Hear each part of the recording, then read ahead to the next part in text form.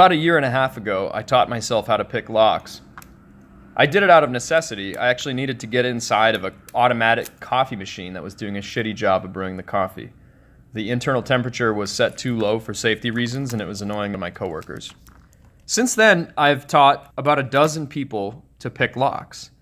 And lock picking basics are actually very simple, but I've noticed the same sorts of problems coming up over and over again, and I also remember all the misconceptions that I had about picking locks before I started. So I wanted to clear those things up. First thing I wanted to clear up is what I would call the Hollywood lock pick. You're trying to pick a lock and, and you just go in and out and in and out. This is just a lack of basic knowledge, and it's nothing to be ashamed of. I had this misconception myself as a kid. Think about this if you take a key and you put it in a lock and you pull it in and out, in and out, in and out, nothing happens. And the reason why is because a lock is opened by applying torque to the cylinder. So the first misconception I want to clear up is that there is no lock picking without being able to apply torque. And most lock picking torque is achieved with something called a tension wrench. Now, tension wrench sounds really magical, but this is just a piece of strip steel from a windshield wiper. Now, do you need to run out and get yourself a windshield wiper in order to become a lock picker? Absolutely not. You can find metal tines from a street sweeper on the road. Uh, you can go to a hobby shop where they sell pieces to make model airplanes and buy stuff like this. Or you can even grind uh, a wrench shape out of a feeler gauge, which is available at any automotive store. In all seriousness, the thickness of this is not critical. The length of it just needs to be long enough for your finger to get over on it. And it, it should be springy if you can help it, but you can use non springy things as well. In fact, you can use a bobby pin for a tension wrench. The important thing about the tension wrench is that it applies that rotation to the cylinder. You can see that cylinder rotating. Without that rotation, you're never going to make this lock open. You can see it here too on this practice lock that if I put the tension wrench here in the cylinder, that I can get this little bit of rotation on the lock. And that's the fundamental thing you need to start picking. So this, the second thing I wanted to address was that when I had, you know, found all these lock picking guides online, the famous MIT guide to lock picking, which by the way is not as good as the no bullshit guide to lock picking, I, I was very hung up about how perfect were these shapes. Like if I print them on my printer, are they a little too small or are they a little too big? Will they not work? As though picks had some kind of sacred dimensionality that made them very special. And in fact, these three picks, which are called standard hooks, are pretty much all the same thing. I mean, they vary a little bit in their tip geometry. They're made, all three of these are made from slightly different materials. But Ultimately, the size, shape, length, and angle of these things is not very critical. Essentially, you need something with a little bit of a lifted end so that the shape is like that. And the reason for that is because you're going to push up on the pins with it. So, the second misconception I want to clear up is that that there's anything really special about these tool shapes. They don't need to be perfect. They don't need to be exactly the right size. You just need a little finger that you can put inside the lock and push on individual pins. And depending on the lock, you may have to change the tool to, to actually make these pins move.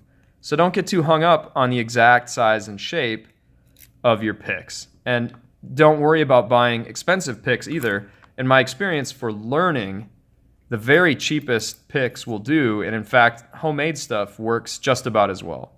I do think there's value in buying one pre made set of picks, if only just to get a feeling for the right size and shape. I'm going to pick this practice lock to show something I often see from beginner pickers when I'm teaching them. They go in and they can they can feel the pins moving up and down, like you can see these ones moving up and down, and they think that the goal of picking is to jam all the pick all the pins all the way up. So they'll go in and they'll work really hard to get all the pins stuck in the upward position and if they feel any down that they feel like they haven't gotten it yet.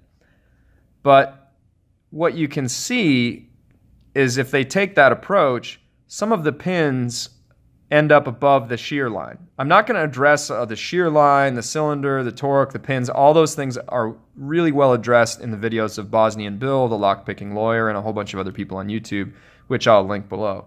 The important thing to know is it's not about getting the pins all the way up. In fact, it's just about getting the pins to pop just above the shear line and to make a little click. There was one. I'm going to reset it. I don't know if you heard that. I'm going to try it again.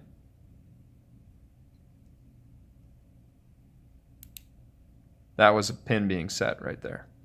So you're just looking for a little click when the pin pops over the shear line, and that's it. It's not about getting the pins all the way up, it's about getting them to the right place.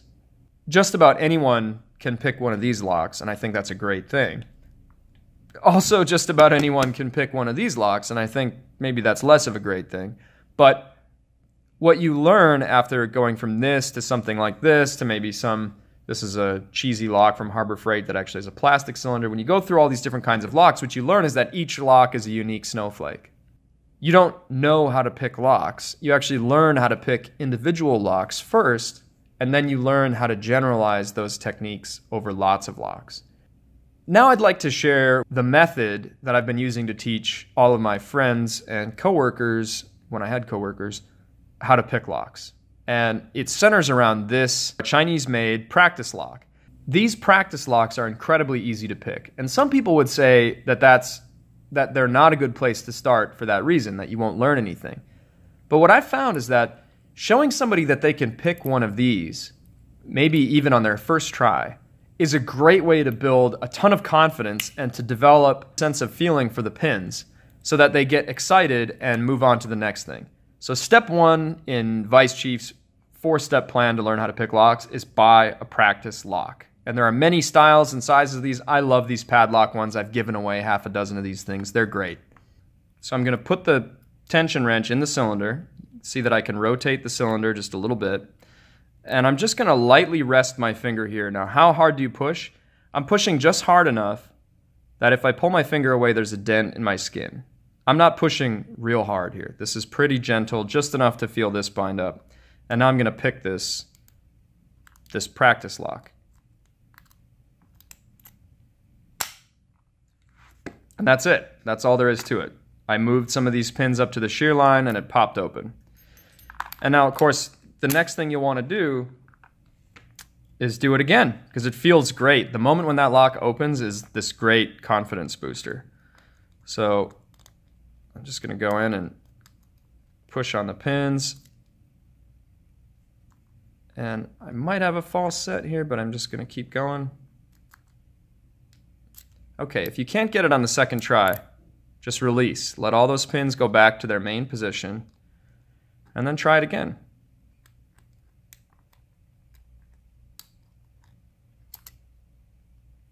No, I've got one more.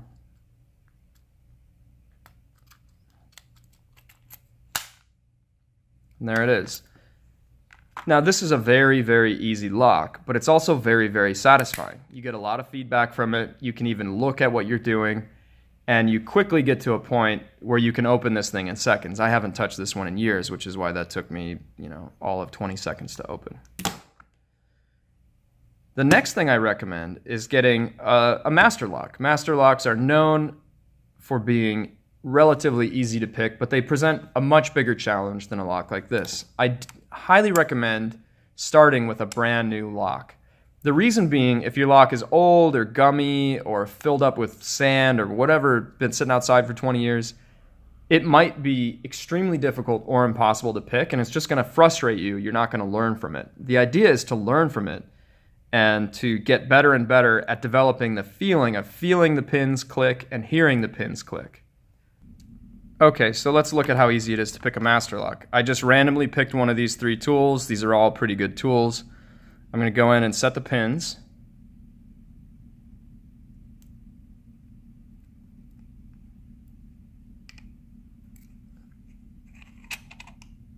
And there we go. I think that was maybe 10 seconds to set that master lock. This is one of their highest security models. Obviously, it's not very high security against picking, but you can see how you can quickly build confidence setting and resetting and learning a lock like this lock. And uh, there we go. You can hear it lock back into place. The next thing that I do in, in my progression of lock picking is I moved on to better tools. So I actually don't recommend that you start with homemade tools unless you have to. Buying a very basic set of picks is really worthwhile, and I like them that are fairly. I like picks that are fairly thin. But this is not a bad place to start if you have that practice lock. We can see if we can, if it can be done with these tools.